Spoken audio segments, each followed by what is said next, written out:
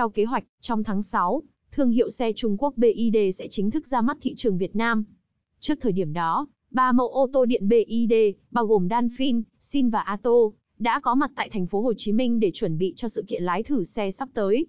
Đây là ba trong số 6 mẫu xe mà BYD dự định sẽ ra mắt tại thị trường Việt Nam. Ba mẫu xe còn lại bao gồm Han, Tang và Song. Trong bộ ba ô tô điện đã có mặt tại Việt Nam, Ato 3 có lẽ là mẫu xe đáng chú ý nhất. Đây là mẫu xe đã liên tục gặt hái thành công về mặt doanh số tại nhiều thị trường ngoài Trung Quốc, điển hình như Thái Lan.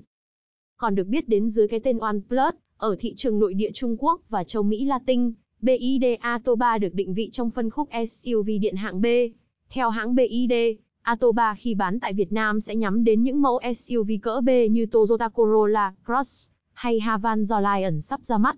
Thuộc dòng sản phẩm Dynasty của BYD, Atoba sở hữu kích thước dài rộng cao lần lượt là 4.455mm, 1.875mm, 1.615mm và chiều dài cơ sở 2.720mm. Mẫu xe này có kích thước như VinFast VF7 nhưng chiều dài cơ sở lại chỉ ngang VF6. Tại thị trường Thái Lan, BID Atoba được trang bị motor điện nằm trên cầu trước, tạo ra công suất tối đa 204 mã lực và mô men xoắn cực đại 310 Nm. Motor này kết hợp với pin lithium sắt phosphate của hãng BID với dung lượng 50 kW hoặc 60 kW. Phạm vi di chuyển sau một lần sạc đầy của hai loại pin này, lần lượt là 410 km và 480 km. Pin 50 kW hỗ trợ sạc chậm AC 7 kW hoặc sạc nhanh DC 70 kW. Trong khi đó, pin 60 kW có thể dùng sạc chậm 7 kW hoặc sạc nhanh 88 kW. Hiện giá bán của BID ATO3 tại Việt Nam chưa được hé lộ. Trong khi đó, tại Thái Lan, xe có giá bán dao động từ 626 đến 730 triệu. Khác với Atto 3, Danfin lại thuộc phân khúc xe hatchback cỡ nhỏ và nằm trong dòng sản phẩm Ocean của hãng BYD. Mẫu xe này có kích thước dài rộng cao lần lượt 4.150mm, 1.770mm, 1.570mm và chiều dài cơ sở 2.700mm. Tại Thái Lan, BYD Danfin bản thấp dùng motor điện mạnh 94 mã lực và pin LFP 44 kW. Phiên bản này có phạm vi di chuyển 410 km. Loại pin này tương thích với cả sạc chậm AC 7 kW hoặc sạc nhanh DC 60 kW. Trong khi đó, bản cao cấp hơn được trang bị motor điện mạnh 204 mã lực và pin LFP 60 kW.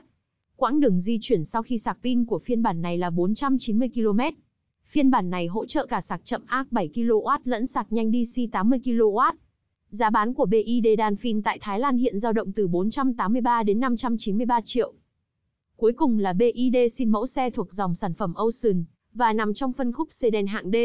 Kích thước dài rộng cao của mẫu xe này lần lượt 4.800mm, 1.875mm, 1.460mm, chiều dài cơ sở 2.920mm và khoảng sáng gầm 120mm. Xe sẽ là đối thủ của Toyota Camry và Mazda 6 ở thị trường Việt Nam. BID xin gây ấn tượng với thiết kế ngoại thất mượt mà, và hệ số lực cản không khí khá thấp. Bên cạnh đó, xe còn khá mạnh mẽ với 3 mức sức mạnh khác nhau, tùy theo phiên bản.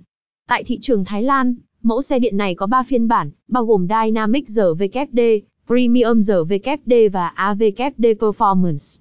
Bản Dynamic RVKD dùng một motor điện nằm trên cầu sau, với công suất tối đa 204 mã lực motor điện này đi với pin LFP 61 kW, mang đến quãng đường di chuyển 510 km. Xe có thể dùng sạc chậm ác hoặc sạc nhanh DC 110 kW. Với bản Premium RVKD, motor điện nằm trên cầu sau cho công suất tối đa 313 mã lực. Phiên bản này dùng pin BID Blade 82 kW nên có phạm vi di chuyển 650 km. Xe có thể dùng sạc chậm ác hoặc sạc nhanh DC 150 kW. Riêng bản AVKD Performance sở hữu hai motor điện nằm trên hai cầu, tạo ra công suất tổng cộng 530 mã lực. Tuy dùng pin giống bản Premium RVKD nhưng bản AVKD Performance chỉ có phạm vi di chuyển 580 km. Bù lại, xe có hệ dẫn động 4 bánh AVKD thay vì dẫn động cầu sau RVKD. Giá bán của BID xin tại Thái Lan dao động từ 914 triệu đến 1 tỷ mốt. Xe BID bán tại Việt Nam sẽ được nhập khẩu nguyên chiếc, trong thời gian chờ nhà máy lắp ráp ô tô điện được xây dựng.